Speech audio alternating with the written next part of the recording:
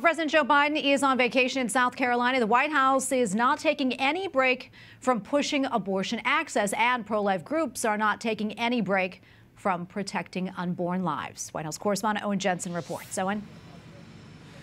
Tracy, today Vice President Kamala Harris scheduled a meeting with California state lawmakers. It's just one of several roundtable discussions she's been convening on abortion. And today we spoke with a pro life leader who calls the fight for life the most important social justice issue. Vice President Kamala Harris arrives in San Francisco, her latest stop in an all out push for abortion access coast to coast. Just yesterday, she was in Las Vegas telling state legislators there the Biden administration has already taken action. The president has signed executive orders, and we will be doing more. The White House also says the vice president has recently met with state legislators from 17 states to discuss protecting reproductive rights. She has also convened health care providers, constitutional law experts, faith leaders, state attorneys general, disability rights leaders, higher education leaders, and advocates.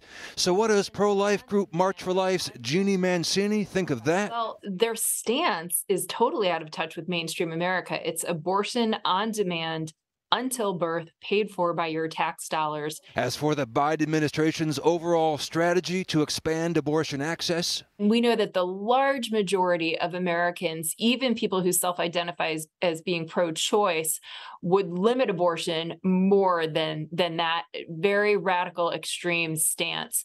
The March for Life is not stopping. They already have it set for January 20th next year.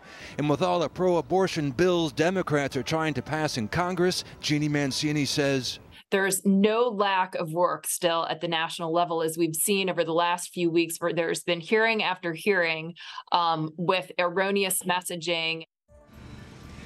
Jeanne Mancini also encourages pro lifers to be as vocal and active as possible at the state level. And she wants to change hearts and minds so that one day abortion will be unthinkable.